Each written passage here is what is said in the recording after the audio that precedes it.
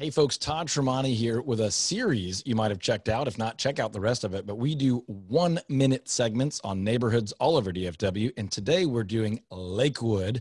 Mason, let me know when the clock has started. Ready, go. Lakewood in Dallas is on the west side of White Rock Lake, which is an incredible lake, a non boating lake, no motorized boats allowed, but there's sailing, tons of hiking, biking all over the trails around the lake. Uh, Lakewood has been historically known for beautiful, nice homes in the upper mid to higher price points. It's a Dallas Independent School District area with some schools that are really well loved and supported by the community, as well as a vibrant private school community. Lakewood Country Club is right there in the heart of Lakewood.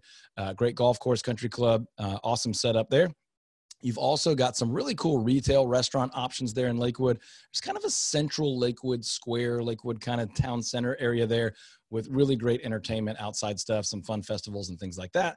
As you make your way towards kind of the southern tip of Lakewood, there's some really new kind of return over, vibrant outdoor restaurant, uh, you know, kind of new exciting stuff with uh, patios and things like that. There's some microbreweries, there's some uh, winery cellars and things like that, as well Stop. as a bunch of and that's the time we've got. So that's that's all you can get in a minute, folks. But we appreciate you checking it out.